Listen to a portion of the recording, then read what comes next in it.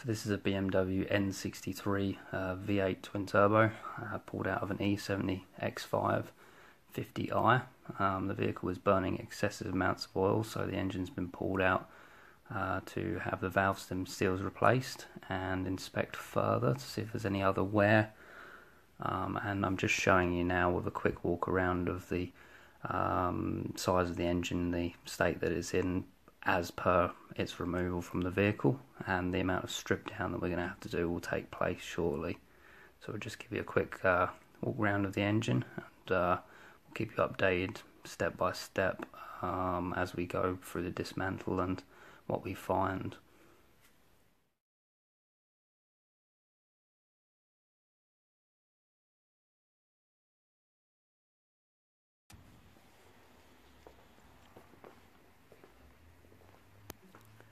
BMW N63 uh, in for valve stem seals. Um, as you can see all the valve gear is out on this bank and all the valve springs etc.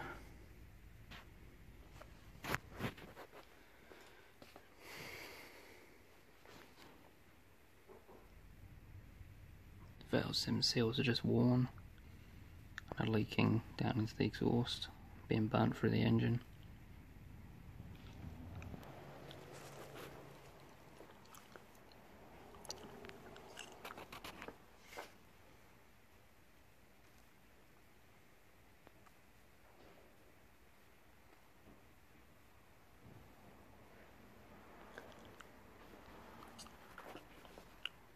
Using a leak cylinder leakage tester to keep the valves pressurized. It's not on at the moment, but just so we can take the valve springs off.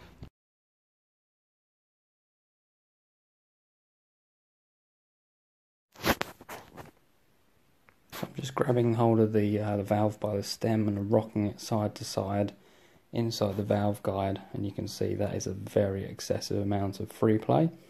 Um, this is the reason why the engine is burning this excess amount of oil, approximately 3 litres per thousand kilometres.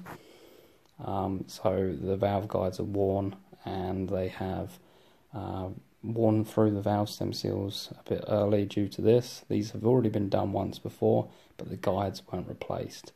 So as we can see, that is very excessive and we're going to need to pull the heads off at this point.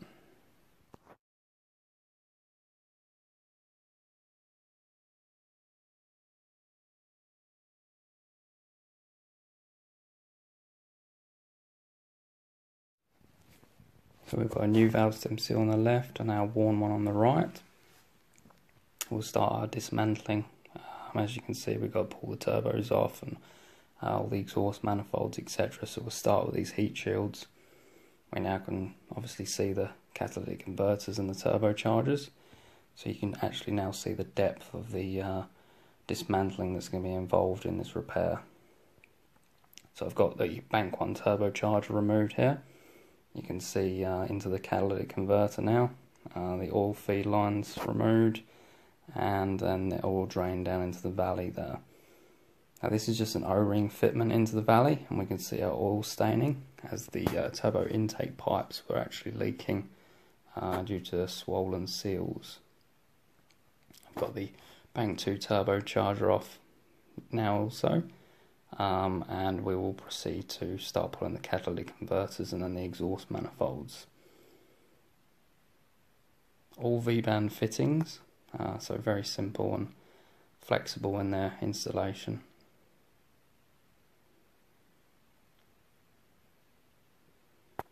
So we've got the catalytic converter for bank one unbolted off the gearbox mount and uh, off of the out valley.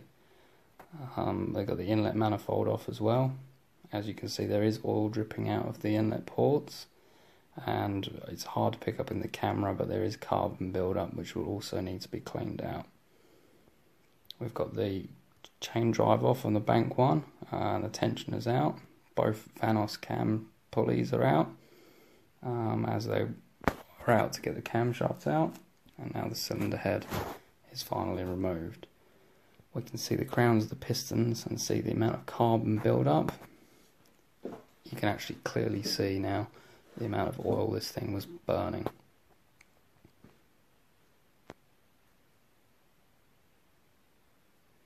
and then just a look at the underside of the cylinder head and another uh, flip side of how much play there is in these valves into the guides.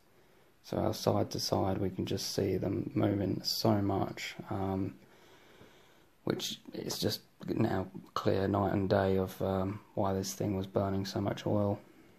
Like I say, this was repaired pre- previously at a BMW dealership, um, but they unfortunately did not replace the valve guides.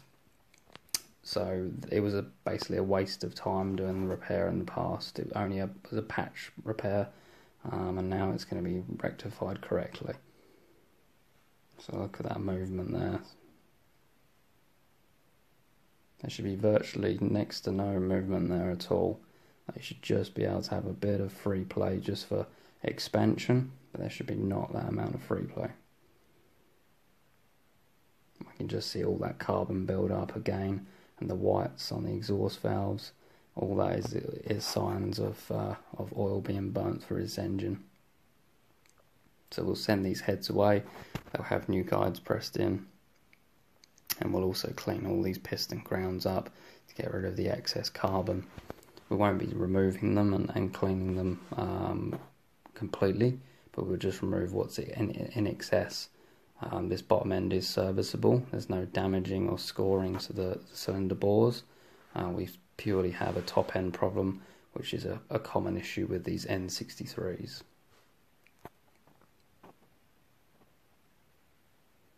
All just flaking away.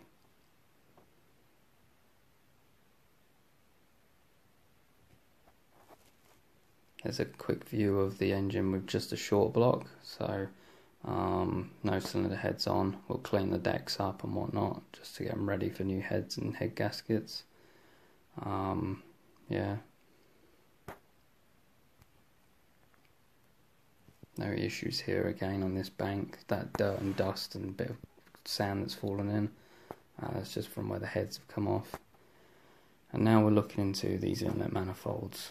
We can clearly see the amount of oil that's been passing through uh, from the, from the breather system with the amount of uh, uh, leakage past those valves.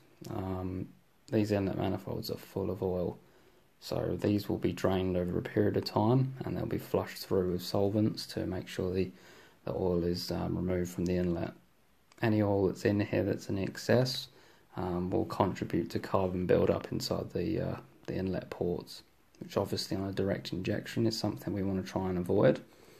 Um, yeah, so we'll clean these manifolds out, but we'll t- I'll tip these up now just so you can see the actual quantity of engine oil that's actually inside these manifolds.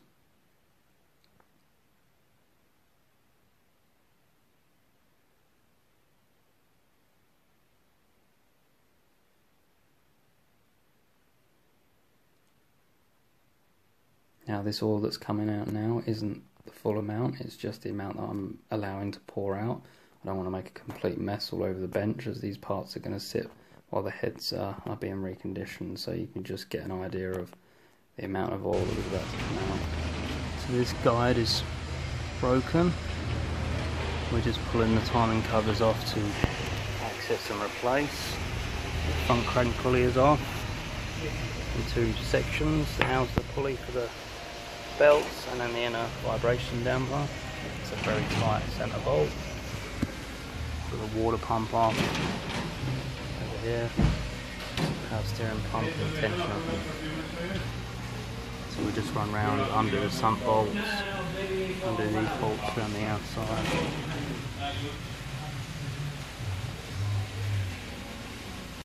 So now the front end is off, the timing case. Um,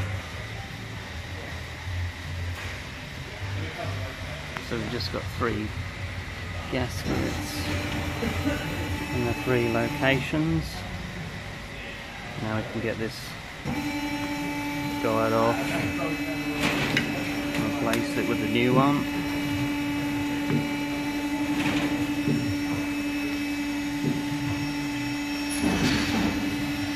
And we'll reassemble. The chains obviously we make sure staying on the crank.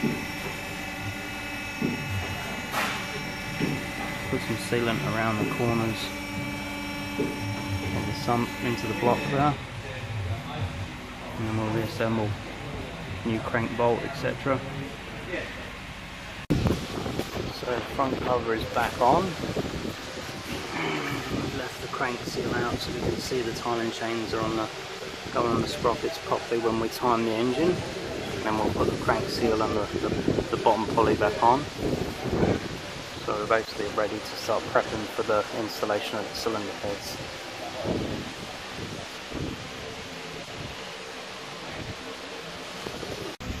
So clean the crowns of the pistons up, give them a quick wipe over before we put the heads on. Um,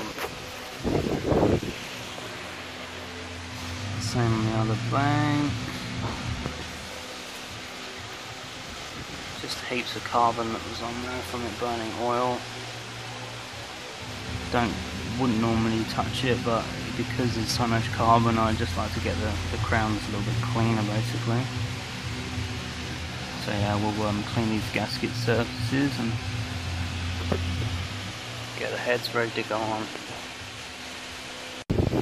So I've got the decks of the block cleaned up, ready for a new head gasket, pistons are clean, timing chain guide is installed, bit of silicone on the transition points between the where the covers join.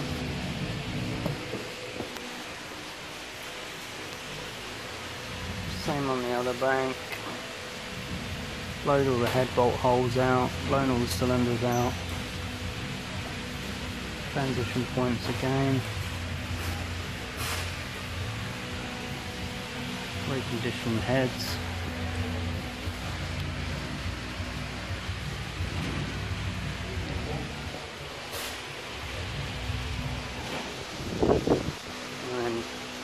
Gaskets ready to go on. So just got those cylinder heads on now, and um, just the head gaskets on. Fed the um, chains and the guides up through the hole in the cylinder heads. We've got the, the head bolts in as well with the washers. These two front head bolts down here, just the small reusable ones. This side I've also got the head on. Got it where the camshafts are also in. This is the guide for the high pressure fuel pump, which is also the bearing um, caps for the exhaust camshaft. Locking tools in. Just the timing chain, just sitting on the variators. These are sided, so one's inlet and one's exhaust.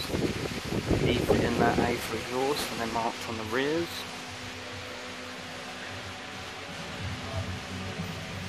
Yeah, we're almost ready to time this thing up.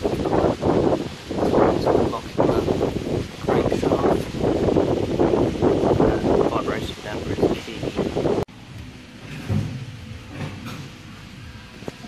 Like I was saying, E fit in that.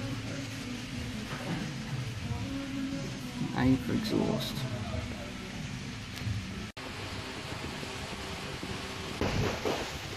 so we can see the camshafts and the caps. A for exhaust. Back to the variators. A for exhaust, E for inlet. That's in German. And then even on the cam caps on the inlet we've then got E's. The numbers read upside down from the side of the bank, so side of the engine caps read upside down, that's the same on both sides.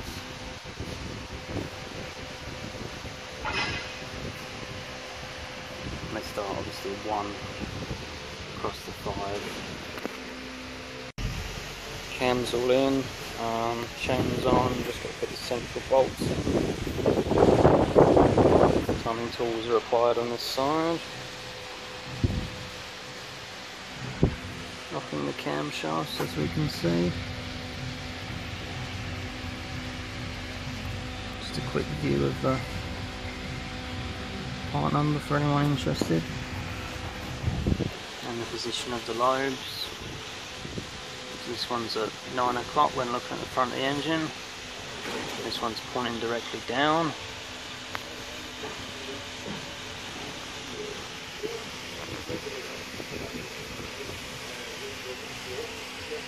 this tool goes in place of the tensioner.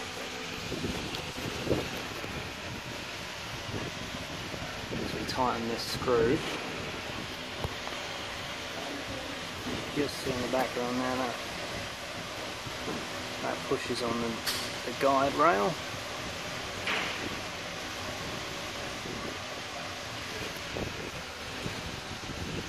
Tightens the chain And we can tighten the central bolts when it's at the correct time and with all the locking tools in. We put copper grease on the inside of the bolts, it's just extra on the outside here, as per the BMW guidelines as their repair instructions. So on the inside face of the bolt, it's got copper grease. So as we can see we're all timed up and assembled like we were saying before. Got the water pump on now. started building the valley back up. Timing covers are on.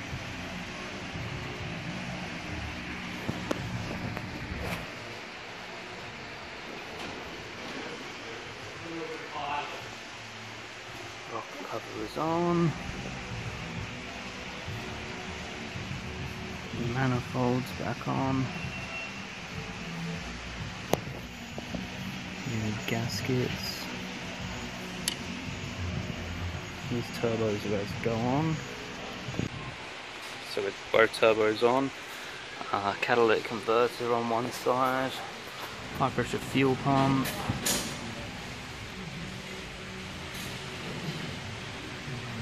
my lambda wiring, still got this mess of uh, wiring harness to sort out, just got to whack this rock cover on. As you can see, V-band clamps holding turbochargers onto the manifolds, and V-bands holding the uh, catalytic converter onto the back of the turbos. Oil lines 14mm banjo bolt onto the top, easily removed, and remove the uh, E8 bolts that go with it. Um, and then just leave the lines with the engine, um, and then the oil drains just O-ring into the block down the bottom there.